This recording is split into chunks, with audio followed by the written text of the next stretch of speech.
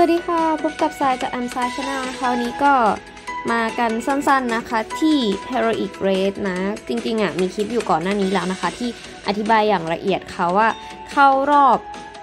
กี่รอบนะคะ หมายถึงว่าเราจะต้องวิ่งทั้งหมดกี่รอบถึงจะชนะนะ อันนี้ก็จะมาทำคลิปเจาะลึกสำหรับจำนวนรอบที่วิ่งแล้วกันนะคะ ว่าวิ่งทั้งหมดเท่าไหร่นะคะ ก่อนหน้านี้คือจะมีรายละเอียดเดี๋ยวจะขึ้นเป็น ตัวไอเสียวขาวด้านมุมขวาบนไว้ให้นะคะ อันนั้นกดรายละเอียดได้เลยนะ เป็นคลิปเก่าที่ไซเคยลงไว้แล้วว่าทำยังไงเราถึงจะชนะเกมนี้ได้ แล้วก็มันมีเงื่อนไขอะไรบ้าง อันนี้เราจะมาเจาะลึกแค่ในส่วนของจำนวนรอบที่วิ่งเป็นคลิปสั้น ๆ เท่านั้นนะคะ เพื่อความเข้าใจง่าย เพราะว่าอันนี้แยกออกมาจากคำถามที่ทุกคนจะถามบ่อยอ่าด้วยความที่รายละเอียดเกมในนี้มันจะเยอะมาก แต่ว่าส่วนที่ทุกคนพลาดไปนะคะ แล้วที่เป็นปัญหาก็คือ ส่วนที่เราไม่รู้ว่าจริง ๆ แล้วอะเราต้องวิ่งกี่รอบเราถึงจะได้รางวัลแน่ๆถูกปะเพราะฉะนั้นสายก็จะมาพูดถึงเรื่องนี้นะคะ โอเคค่ะเกม Heroic Raid นะจะมีกติกาอยู่นะคะ อยู่ที่นี่ตัวอ่าตัวลูกศรงงๆนะคะอ่าลูกปุ่มงงๆเนี้ยคือเรามีสิทธิ์ได้มังกรระดับ H นะคะ แล้วก็ตามอีเวนท์ที่เขาแจกแหละ โดยการที่เราทำทั้งหมด3 quest ที่เขาบอกมา 3 อันนี้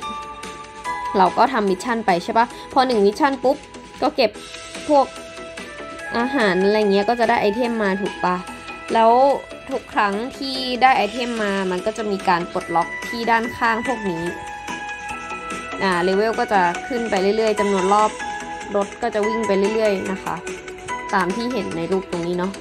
วงอันนี้คือคนกำลังวิ่งนะคะ ซึ่งตอนนี้ใสายอยู่ที่2นี่อันนี้ ถ้าจะเห็นจากจำนวนการการแข่งนะคะ ก็คือตอนนี้สาอยู่ที่ 2 ค่ะ เพราะฉะนั้นจำถ้าเราอยากจะวิ่งได้แน่ๆเนี่ย คนที่ชื่อกอโด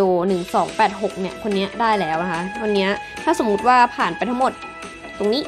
นะดูจำนวนวันที่เหลืออีเวนต์นะคะ 8 วันอีก 14 ชั่วโมงเนี่ยคงคนนี้ถ้าไม่มีใครแซงนะคะเขาวิ่งอยู่แลบ5 แล้วเนี่ยเขาจะได้ตัวที่ 1 ก็คือ High Arcane Dragon ไปนะคะ ใช่แล้วคนนี้จะชนะเพราะว่าคนเนี้ยวิ่งทั้งหมด 5 รอบ ซึ่งรอบที่วิ่งที่จะได้ที่ 1 ได้ก็คือ 5 รอบนั่นเอง แต่ถ้าเราไม่เข้าใจแล้วเราก็กดตรงนี้เนาะเขาบอกอย่างชัดเจนค่ะ วิธีคือถ้าจะไม่ได้ให้มาดูคำอธิบายของเกม ซึ่งสังเกตได้จากตรงปุ่มนี้เนาะ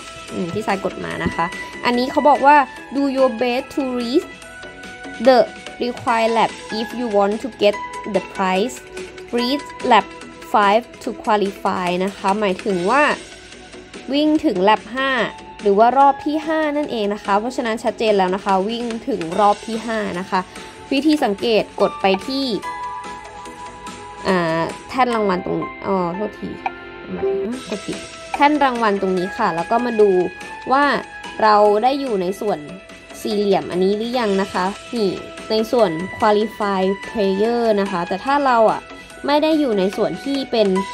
qualify player นะคะ คือทรายตอนนี้ทรายอยู่ใน non qualify player ก็คือยังไม่โดน approve หรือว่ายังไม่โดนอนุมัติว่าเรา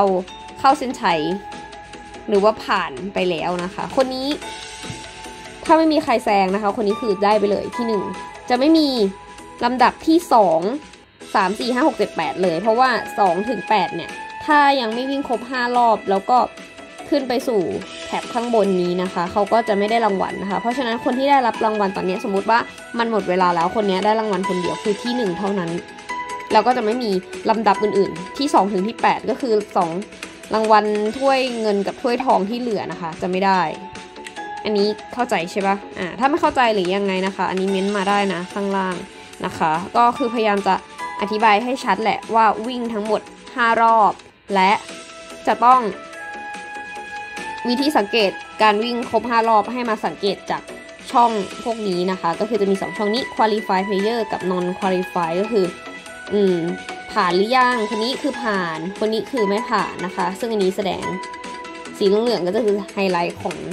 ชื่อเรานะคะ ว่าเราอยู่ตรงไหน เพราะฉะนั้นทุกคนวิ่งนะคะ ไม่ว่ายังไงก็มาสังเกตที่นี่ได้เนาะไม่จะได้ไม่ต้องแบบหาวิธีเช็ค ก็คือวิ่งแล้วก็มาดูจากตรงแถบเนี้ยว่าเราได้ขึ้นไปสู่ด้านบนนี้หรือยังนะเดี๋ยวจะติ๊กให้ดูคือ จากตรงนี้นะคะ ขึ้นไปย้ายอยู่ที่อันนี้หรือยัง ซึ่งในที่นี้คือเราไม่จำเป็นต้องแซงเขาก็ได้นะ ถ้าสมมติว่าเราแบบเออแซงเขาไม่ได้ แต่ว่าเราอาจจะได้เป็นที่ 2 ถึงที่ 8 ซึ่งอันนี้ก็ได้รางวัลเหมือนกัน แต่เราก็คือต้องย้ายขึ้นไปอยู่ข้างบน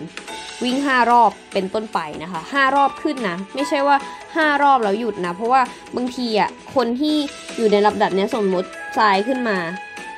คนเนี้ยเขาวิ่งถึงรอบที่ 5 ถูกปะอะสมมุติคนนี้อยู่แลบ5อะเดี๋ยวเราจะสมมุติตัวอย่าง คนนี้ยังอยู่แลบ5อยู่แล้วสักพักเนี่ยทรายขึ้นมานะคะเดี๋ยวนะเราจะโยงให้เข้าใจทรายขึ้นมาปุ๊บ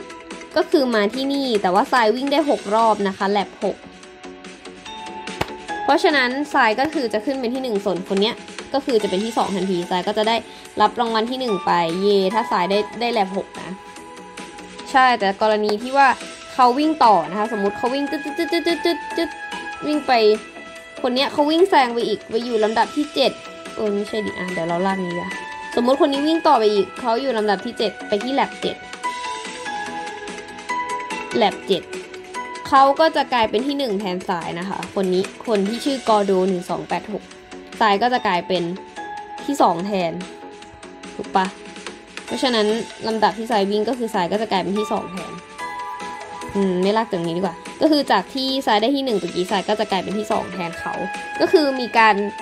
วิ่งไปเรื่อยๆ ได้อีกนะคะ จนกว่าจะหมดเวลา คนที่ชนะคนที่โดนขึ้นไปแล้วเนี่ย ได้แค่ว่า เขาเรียกว่าอะไรเขาได้แค่การแบบว่า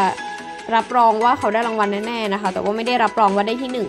จนกว่าจะได้ขึ้นลำดับเลขตรงเนี้ยเป็นเลขที่หนึ่งเริ่มเริ่มเริ่มเยอะเลยใช่ปะจนกว่าจะขึ้นเลขตรงเนี้ยว่าชื่อเราอะจะเป็นที่หนึ่งแล้วอยู่ในช่องนี้ด้วยนะสองเงื่อนไข ใช่ เพราะฉะนั้นรางวัลที่หนึ่งก็คือจะเป็นของเรา ถ้าเกิดอยู่ที่หนึ่งแล้วก็อยู่ข้างบนนะคะ ใช่แล้วอ่า ก็ลองไปดูกันค่ะ เข้าใจหรือไม่เข้าใจยังไงนะคะ เราจะมีคลิปที่แปะไว้ก่อนหน้านี้แล้วนะ เดี๋ยวปิดเดี๋ยวจะแปะข้างล่างให้อีกทีก็ได้ค่ะเป็นลิงก์ว่าเคยอธิบายละเอียดไปแล้ว แต่อันนี้ขอเจาะแค่เรื่องรอบที่วิ่งแล้วกันนะคะ หวังว่าทุกคนจะเข้าใจนะ หรือว่าใครติดอะไรยังไงนะคะคอมเมนต์ข้างล่างคลิปนะคะ เดี๋ยวไว้มาตอบนะคะ หรือว่าใครตอบได้นะ ช่วยตอบคอมเมนต์ได้นะคะ ขอบคุณสำหรับการรับชมนะคะ แล้วก็ขอบคุณสำหรับ comment ที่ คอยช่วยเหลือเพื่อนๆด้วยนะ ก็คือถ้าอันไหนตอบได้ก็คือฝากตอบได้ด้วยนะเออฝากตอบ comment อื่น ๆ ด้วยก็ได้นะคะ เพราะว่าบางทีอาจอาจจะแบบซายไม่เห็นหรืออาจจะตอบช้าอะไรเงี้ยเพราะว่าเออจะได้ช่วยๆกันเนาะเกมเราจะได้แบบแข่งไปด้วยกันนะคะ เกมนี้ก็หวังว่าทุกคนจะสนุกไปกับ Dragon City แล้วก็ได้รับ ความเข้าใจนะคะ เกี่ยวกับการเกมแข่งรถที่จะแข่งหลังจากนี้ แล้วก็อีเวนต์ต่อๆๆไปของเกมแข่งรถที่จะมีในครั้งต่อไปในอนาคตนะคะ วันนี้ไปแล้วค่ะ ขอบคุณที่ติดตามชมนะคะ อย่าลืมกดไลค์ subscribe กดแชร์ แล้วก็กระดิ่งจิ้งกิ้งนะคะ เพื่อที่จะไม่พลาดคลิปใหม่ๆที่ทรายจะลงนะคะ วันนี้ไปแล้วค่ะ สวัสดีค่ะ เย้